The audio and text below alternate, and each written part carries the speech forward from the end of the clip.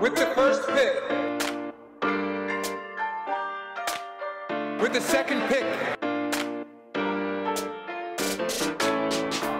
With the third pick. With the fourth pick. Crashing the boards. Select.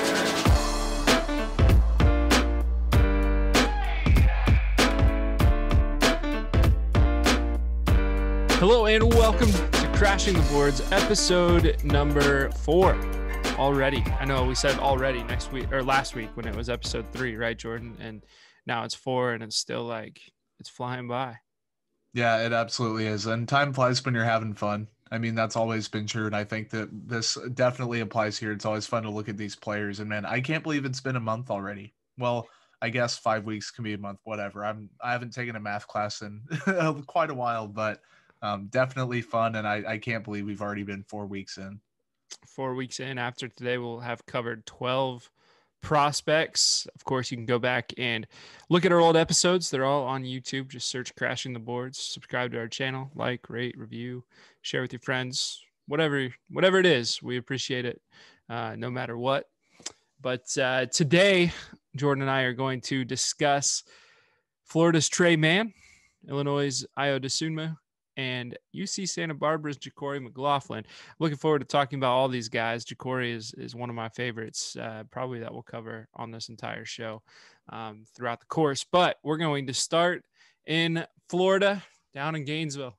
Tre Mann, six foot four, 172 pound point guard, 16 points per game, 3.4 assists, 5.6 rebounds, 45% from the field, 40% from three on 4.6 attempts and 83% from the free throw line. Jordan, when we look at Tre Mann, uh, we actually talked about Davion Mitchell last year, and Davion was a guy that uh, had a breakout year, just went nuts from from the year before to, to this one. Tre Mann is a guy whose stats definitely jumped up uh, this season, but not only did his stats jump up, he grew two inches and 15 pounds. So uh, the first note that I have, I'll ask you, uh, you know, his growth is, is, it, and not not just his physical growth, but um, his numbers. Um, do you feel like it's for real? Yeah, man. I was gonna say he grew literally and figuratively. Yeah, um, he grew literally with the two inch growth spurt or whatever, and he still could be growing, which is kind of a scary thought. Um, but secondly, on the court, I think it's legit because he shows a really diverse and mature like scoring profile. Um, he's a knockdown sharpshooter from deep. He can hit off the catch. He can hit off the bounces, pull up shots. I like.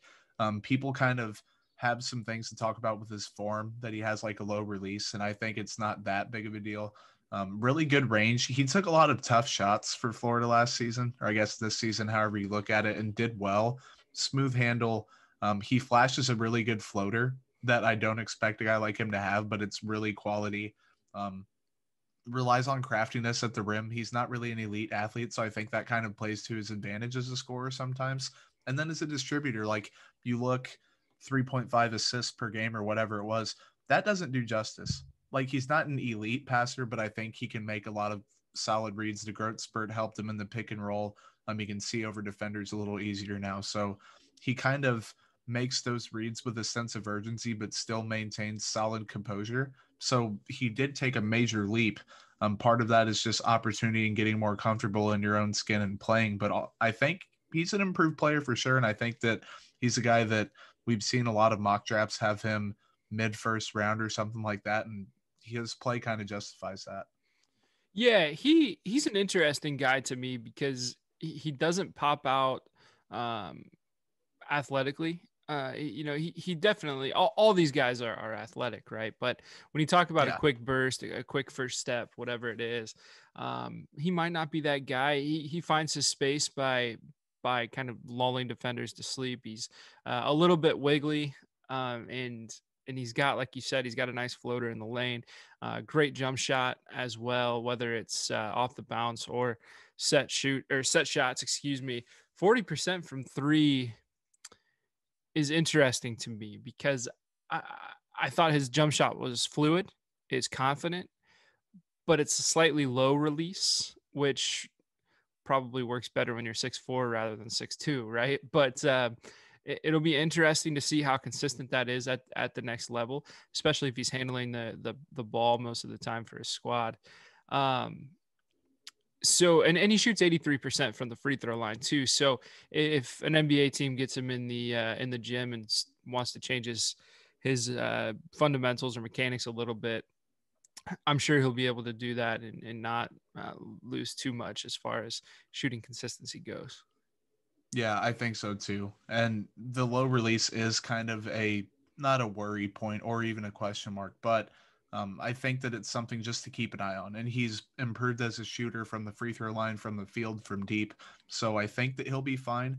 Um, but that's always something you kind of keep an eye on if you're an NBA team. It's it's easy for us to sit back and say, well, we're not making an investment in him personally, so not that big of a deal. But then if you're an NBA team that's going to spend a first round pick on him, it's something that you at least have to note and and watch over time. Yeah, and and you talked about his facilitation a little bit. Um, the notes that I have on on his passing are basically this: like he can make good passes, accurate passes, put some velocity on it. That's a word that you like to use, I know. Um, mm-hmm. Put some velocity on passes, but he doesn't necessarily make advanced reads. Yeah. Um, he's not crushing the defense with his with his facilitation. Um, yeah, he can get into the lane, and, and like we said, if there's an open man on the wing, or um, you know, if the roller is going to be open for a lob, whatever it may be, he'll hit that pass. But um, there are some really good passers in this draft, and I think Tre Mann is a formidable passer, but not necessarily the the flashy, uh, the the flashy passer. Yeah, no, I'm with you, and that was my first question mark: is can he make that next step? He makes those basic reads and stuff you'd expect from a point guard that has the ball in his hands a lot, but he processes relatively quickly. That can improve. Um, he could speed that process up. He could make more advanced reads in the pick and roll. Hopefully, that growth spurt will help him a little bit more than it even has. Like, if he's going to, he has the diverse profiles of score where he can create his own space that way. But in order to be that starting caliber point guard for an NBA team, you got to be able to do it for other people too, unless you're only that scoring guy. So um, it could be a matter of reps, or it could just be that's who Tre Mann is as a player, and that's going to, I think, dictate kind of his trajectory in the NBA. Yeah, and you mentioned where mock drafts have him. Um, he's another guy. We talked about one last week that um, there's not really a consensus on where he's going to be drafted, and I think you got to think about it in, in, this context, right? He he was a consensus five star recruit. McDonald's All American 2019, right? This is his second year. He's yep. played two years at Florida, right? He went from six two to six four and gained 15 pounds. And when you're 19 and you you grow that much, a lot of times you got to grow into your body a little bit, mm-hmm. right? So uh, again, question mark is the perfect term here there's a good chance that I mean we already know he's a great athlete and a great basketball player. When he grows into his body a little more, he he has a pretty high ceiling. Um, but you know the the downside is uh, maybe some teams won't believe that he'll grow into his body and, and the lack of burst and um, maybe this the slower the slower handles um, could be a, could be an issue at the next level. But definitely a high ceiling here, Jordan. Yeah, I'm with you. And then also you added, can he grow into his frame? That was my second question mark is how will he mature in close range situations, which kind of that goes hand in hand. Um, he's been getting stronger. He's been adding weight. He's going to have to keep doing so in order to reach his ceiling. Not always the most comfortable attacking the rim. He sometimes seems to shy away from contact and stuff like that. So lacks that elite athleticism, lacks the elite size and strength um, and bulk to his body. But if he can do that, He's going to be a lot more comfortable in those situations. He's going to be willing to embrace contact. He's going to get to the free throw line more. Good free throw shooter. That's going to help him out. Um, and then will he figure it out defensively? Not that he's a poor defender. Um, I definitely wouldn't say that. The ability is there. The foot speed is there on the perimeter. The length is good. Um, but the fundamentals, like can he pick up on rotations quick enough? Um, does he have the anticipation? I've seen a couple plays where he got into passing lanes and and made some plays. Um, his angles need a little bit of work, just stuff like that, where the the meat of Tre Mann's profiles there, but then maybe you want some potatoes on the side, like you want to grab a drink or something like that. Like the meal is already pretty good, but you just need to add a couple things to really spice it up. And then you're looking at a really solid player. Yeah. So again, we're not a mock draft show, but if you had a guess, um, you know, wh- what's what's Tre Mann's range in your opinion? I have him as mid to late round one, like Mhm. after 15, but before like 25, probably in that range. And then um, I'll just give my quick one sentence summary. Um, sharpshooting point guard who can possibly run an offense if improvement continues in decision making and precision passing. Love it. Love it. That's Tre Mann. We'll move on to another school with orange in their colors, right? Uh, Illinois' Ayo Dosunmu, one of my favorites to watch this year uh, for a couple reasons. We'll get into it.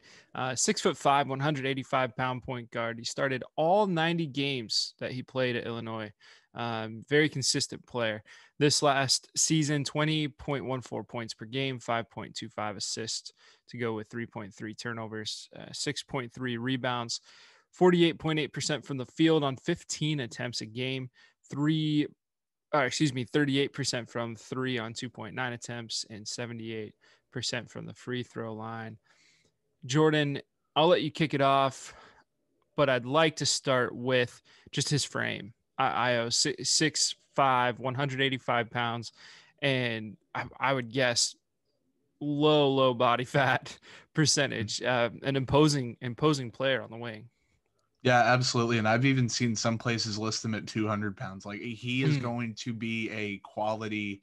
I think the defense is one of the things that jumped out to me. I mean, he has the good height, he has the good length and size, extremely high effort player on that end. He's switchable, um, instinctive, high IQ. He played in college for a while, so he knows what's going on there. Quick feet, um, off ball awareness is great.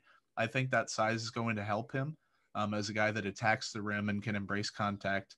And then on defense, a guy that can switch. I mean, that can pick up your bigger point guards, your bigger shooting guards. Um, not to call him like a Jrue Holiday or anything, because those guys you can't just go and say, "Oh, I want to pick Jrue Holiday off a tree and have him switch on to Jimmy Butler in the playoffs." Like that's not going to happen. But um, Ayo is one of the better defending point guards, and I think that his frame is a big reason why.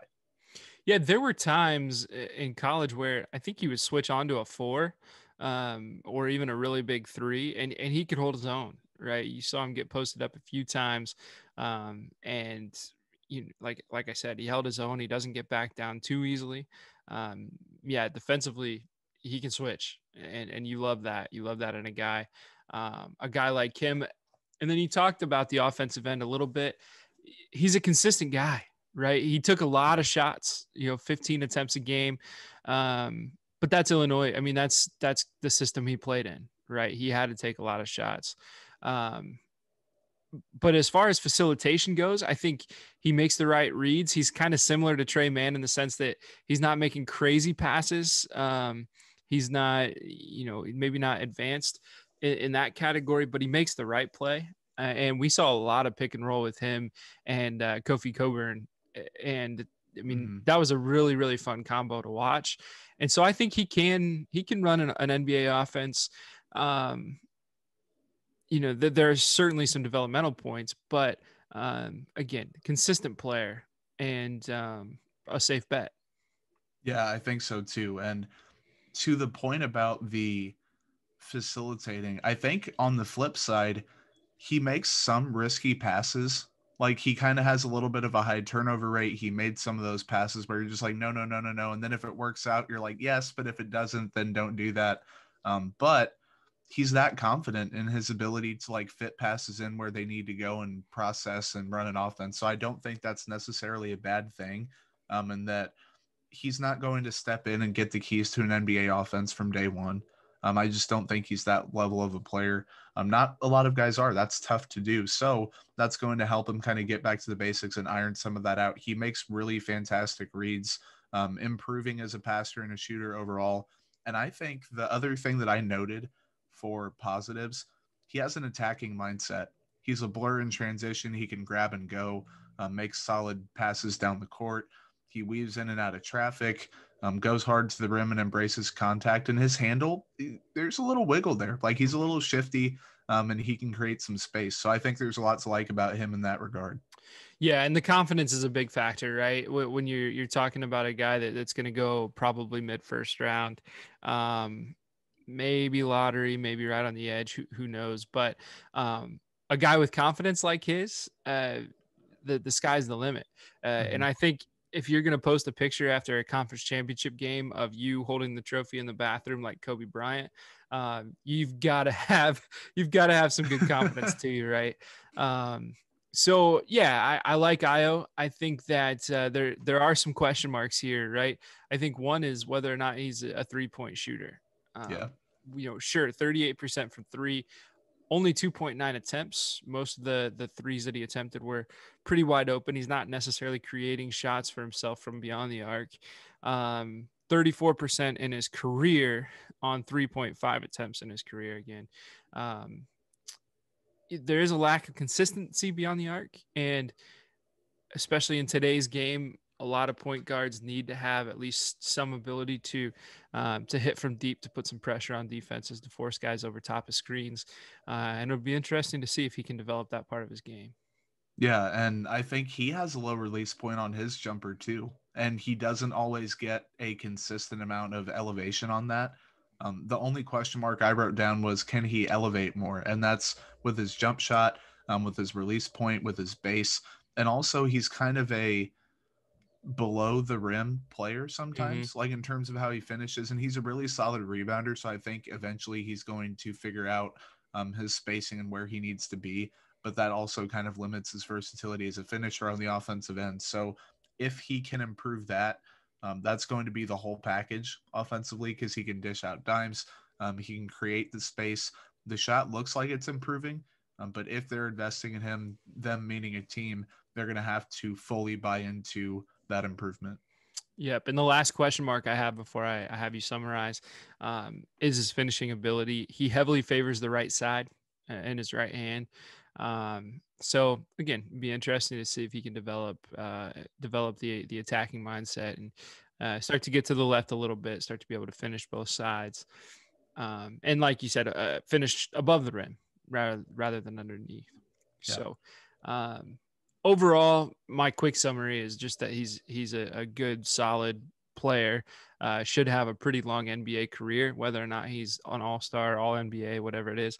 Um, you know, he's got some growth, but he'll be solid. But what's your summary? Summary. I have him written down as a shifty combo guard with um, immense defensive potential and innate leadership qualities. I, I really do buy into that um, maturity and leadership that he shows, and stuff like that matters throughout the draft process, and it matters throughout um, an NBA career. So I like that about him, and I know that was way more than one sentence. That's all right. Summary is a summary, man. I like it.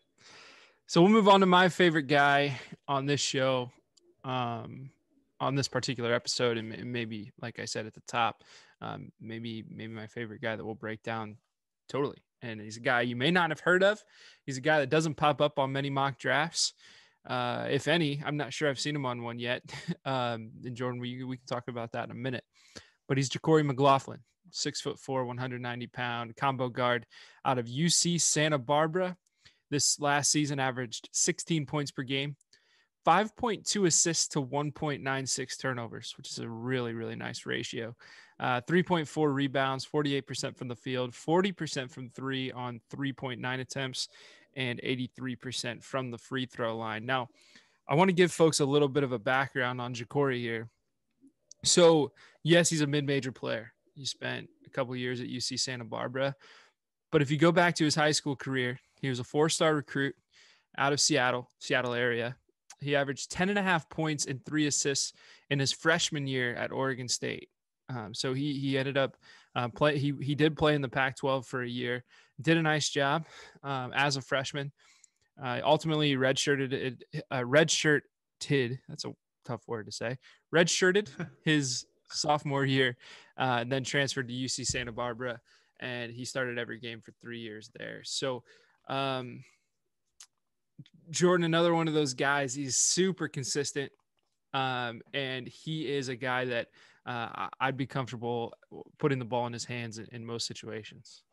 Yeah, I, I put trust for like the main positive with him. And as a facilitator, he's extremely mature, accurate passes. He takes care of the basketball. Um, he makes advanced reads. He's an elite decision maker, like one of the better ones in this class. And it's ridiculous that he's not popping up in mock drafts. I'm sure we'll elaborate on that point here in a minute. And as a scorer, he's diverse. He can do a little bit of everything, I think. Um, he can score, he can play off the ball a little bit um, and get open that way he has really good poise and pacing. He's he just seems in control. And you can say that about a lot of guys, but it truly applies with him. Um, he sets up his moves in succession. He you can tell he puts in the work in the gym. He just looks comfortable out there and fluid and in control and happy to be out there. Um, good body control around the rim, good shooter. He's efficient. Like there, there's nothing to not like. I think about him offensively. He whether he has the ball in his hands looking to pass or looking to put the ball in the basket. Yeah, his highlight reel on uh, just passes alone are are pretty incredible. There's some flashy Mhm. ones. There's some uh, some passes you don't expect anyone to make. Uh, you know, through traffic, uh, skip passes, passes from under the bucket to the other side of the the three point line. Just some some wild stuff that he's able to do passing the ball. But he's a legitimate three level scorer as well. He's got a really smooth and comfortable release from deep. Um, again, around four attempts per game shot 40% from the, the three point line. Mid range game, we'll roll some clips now. Uh, super smooth mid range game. He knows how to get open. You mentioned that already. Um, he, he knows how to get that shot and he's confident, comfortable, and will pull it quick when he's got the space. And then as far as finishing at the rim goes, same thing. Like he is. He's comfortable. He's got a nice frame, six foot four, 190 pounds. Probably by draft time, I'd assume he'll put in enough work to get up to 200, 205 maybe. Um, he can finish too. And, and so he mixes that scoring ability with that advanced ability to read defenses. And we're talking about uh, potentially a really good long-term NBA point guard. Well, I know we're calling him a combo guard, but um, when, when you talk about uh, his role in an NBA team, handling the ball, handling the offense, facilitating, initiating, etc. And it's crazy that we're saying all of that. And we say it about guys that are first round picks. This is a guy who we both think should go and probably will go at some point in the second round.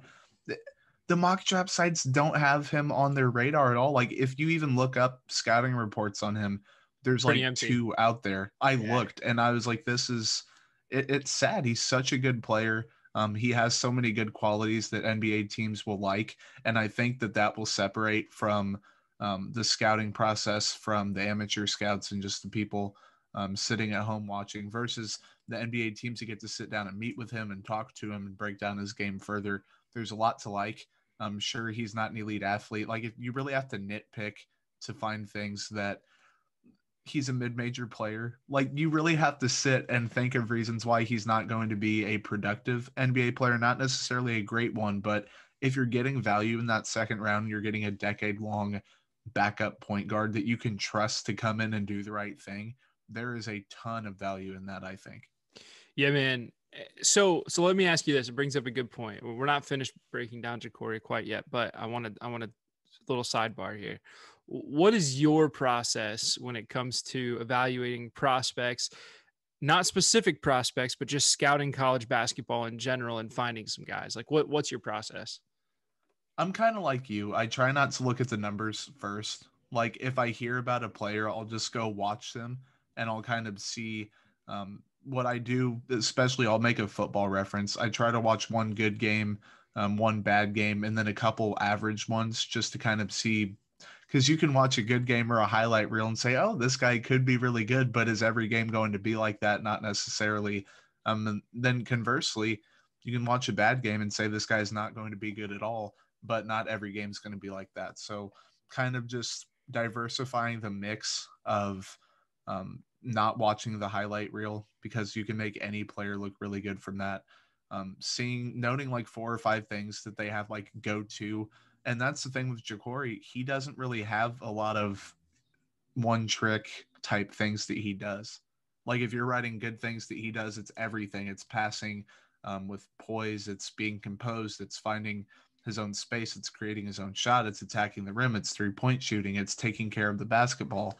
It's so much. Then after that, um, I try not to list a ton of negatives for players and we call them question marks because ultimately they are question marks and they're things that could turn into positives um, throughout that draft process, throughout an NBA career. Then you go through and do that. But by the time you have all the good stuff there, you've already built a case for that prospect and you kind of go from there. Um, so I think that it just part of it's word of mouth because a lot of people, anyone watching this, maybe they haven't heard of JaQuori before. They say, oh, well, I'll go watch him. Um, and part of it is just kind of going out and doing it. I, and that kind of applies to everything, but it's it's a good mix of both, I think. Yeah, it- mine's mine's similar to that. So so I'll take you to preseason before this before the year even starts.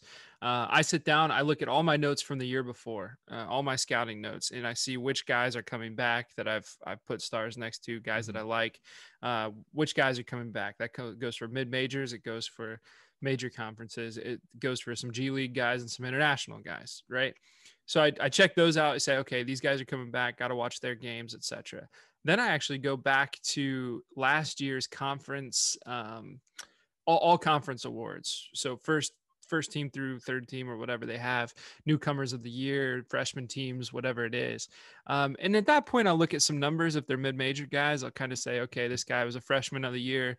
Uh, what did he do? Uh, all right, these are some numbers that kind of pop out. Um, and then I'll watch his tape from the year before, and I'll decide, okay, this is a guy I'm going to watch this year. This is a guy, maybe not, whatever for JaQuori, I'm not going to pretend I'm the first guy to ever discover JaQuori McLaughlin. There's no chance uh, that's the case. But I, I went back and I looked at, um, you know, his conferences, all conference teams. I saw, okay, this guy six foot four, point guard, did a lot of really good things, great assist to turnover ratio. I pull him up, I watch his tape from last year, like, wow, he's good. Watch some film this year, like that's that's how I uh, that's that's kind of how I became a, a JaQuori McLaughlin fan. I think a lot of people will look at mock drafts. Honestly, I think Yeah. they they look They- at they mock do. drafts. They look they look at players not one through sixty, but maybe one through seventy or eighty, and they're like, oh, okay, these guys are pretty good. And that's how guys get overlooked. Um, you know, JaQuori's not popping out to anyone because he's not he's not on all these mock drafts, and people are missing a really really good player. And um, it's a shame, but I'm glad we I'm glad you're watching our show now. I'm glad you get to watch his clips and, and hear what we have to say about him. Yeah, and I'm trying to think of how I want to phrase this. It it doesn't go 1 through 60. Like a lot of people will watch or I guess read and say, "Oh, those are the top 60 players in this year's draft," and there's there's no debate about it. Like that's it. Yeah. Bleacher Reporter, whoever did their mock draft, those are the 60 players to watch for, um, and that's how it's going to go. And even in football, baseball, all this stuff, those rankings or those mock drafts, something is going to happen where it deviates from what is listed. Either someone's going to quote unquote reach, which I hate that word, um, or somebody's going to fall due to something we may not even know about um, that happened throughout the draft process or just bad luck or whatever happens. Guys are going to go that aren't on lists, and guys may not go that are on lists. That's just how it goes. So if you do the homework and and find the guys that you like. And I like what you said about going through the all conference teams because that is a really easy way to screen through guys that may have slipped under the radar, like JaQuori. Um, and I didn't even think about that. So I'm definitely going to copy off of you and, and start doing that. Do it. Yeah, absolutely. Absolutely. So um, let's get back to JaQuori for a second. Some question marks. Um, there are a few, just like with any guy. Like if there were Yeah. no question marks, we'd be talking about JaQuori in the top five, right? Like that's just how it works. Um, but these are truly question marks as well. We haven't seen elite burst from him. Um, and we've talked about it in other shows. Sometimes that's just a product of uh, the system they run in. Sometimes that maybe is a problem uh, that maybe they don't have that burst. I've seen some flashes from JaQuori of of burst.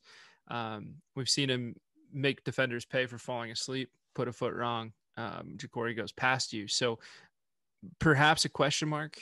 Um, the the burst one v one defending will be interesting as well. And again, we just haven't seen that athleticism at, at a, a really elite level. Maybe that's a product of who he's playing against as well. right? And and again, uh, no no slight to to mid major teams. There are a lot of mid major guys and teams and coaches that I really really like. Um, but again, you wonder how how is he going to do against elite athleticism, um, uh, very athletic NBA guards. Um, but one thing you can hang your hat on, if you're a JaQuori fan, he's got a high IQ. He's got a, a great understanding of the game. Um, you know, he's he's got a great support system as well. I, I noticed uh, well, Seattle Seattle basketball players really like to lift each other up, whether it's uh, younger Isaiah Thomas or Jamal Crawford or whoever it may be. Um, and, and, it seems like a lot of a lot of those Seattle guys really embrace JaQuori, and um, you know I I think that I really think he's going to be a, a long time NBA player. I really do. Yeah, I think so too. And those were my two question marks as well. Um, and I read an article that brought up i wish i remembered what the the rating was for defense and i don't really put much stock into defensive ratings and he was above average but to that point the system who knows the athleticism who knows like that's a big jump to go from that to the nba i'm nothing against mid majors at all like you said i love mid majors but it has to be noted that that is a significant leap that he's going to be making and he does show flashes of having really quick feet and he knows where he needs to be and I think that will help him. He can anticipate things that are going to happen, and he can yeah. react extremely quick. Um, has the great IQ, so that always makes up for it in any sport, at least a little bit. But um, in those situations where you will need that, does he have it? And he's shown flashes that he might. And if he doesn't, I think you're still getting a reliable player. But if he does, then maybe that raises the ceiling even more. Yeah. And for everyone that says, well, he did it all against mid major teams, like, listen, we already mentioned it. He was able to do it as a freshman in the Pac 12 as well. Yeah. So um, please, in every argument you ever make, do not bring up what level these of basketball these guys are playing in. And if you do, I've got no time for you. Let's talk about the tape. Let's talk about what they do well, what they don't do well. Let's not talk about who they're playing against, please. Anyway. Yeah. Jordan, let me get your summary of JaQuori McLaughlin. I wrote down for my summary that I was going to kick it back to you because I know if anyone can summarize him, it's going to be you. J- JaQuori has all the tools, right? The summary is not just on paper, but on tape. This guy can navigate a defense. He can facilitate. He can score. He can basically do anything you need him to do. We haven't seen him play off the ball a ton, but I think he'll be able to do that as well uh, if needed. And so this is a really, really solid pick. It's a guy that his ceiling maybe is all star, but you know, to to make sure we're not spouting off a bunch of hot takes here, I, I, think it's safe to say that JaQuori will be a long time pro, mm-hmm. um, and and a really, really good pro.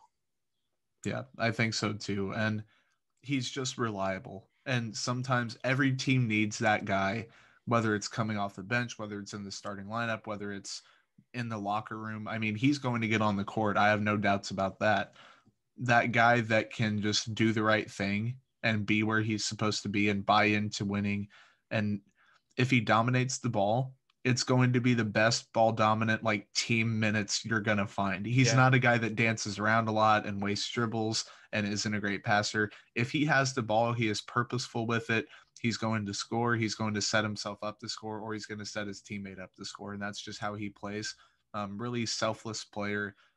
And I think he's going to be good. I mean, there's there's no reason why he can't be good, even if he doesn't have that elite athleticism, even if he's a average defender, even a slight minus, he's still going to be a good player. And last thing I'll say, really, really nice kid, really, mm-hmm. really nice guy. Um, and, and, yeah, I'm really looking forward to seeing what JaQuori does. Buy stock now. We're telling you, we're begging you, buy JaQuori McLaughlin stock. Uh, you're going to see his name soon. No, no question. Yep. Jordan, that's our three guys. Tre Mann, Ayo Dosunmu, and JaQuori McLaughlin. That's episode four. Final thoughts? It's in the books, man. Um, there there was some behind the scenes stuff that led to us kind of getting a late uh, recording done. Um, but man, it, has been a blast so far, and I think that as we keep doing this, um, shedding more light on prospects, that it, people are going to start catching on to it even more. Um, and these guys, they all need light shed on them They all need to be talked about. They're they're in that conversation for a reason. Um, some more than others, but it, it's been a fun process. Absolutely. And speaking of shedding light on some guys, next week, make sure you join us. We got two guys that you've probably heard of Scottie Barnes, Jonathan Kuminga, uh, both really good players. And we're going to actually talk about two other prospects. Um, we'll talk about international prospect Rens Blijenberg, who is uh, he's a pretty good player, and he's kind of mock draft wise. Some have him second rounds. I've seen some that have him the very last pick, some that don't have him at all. But um, he's a good player, an interesting prospect. And then we're going to talk about a guy that didn't even play Division One basketball, uh, Division One NCAA basketball anyway. Um, and you know what? I'm going to keep his name a secret. I'm just going to use it as a teaser. Come check us out next week. Four prospects with one uh, that you've almost definitely never heard of.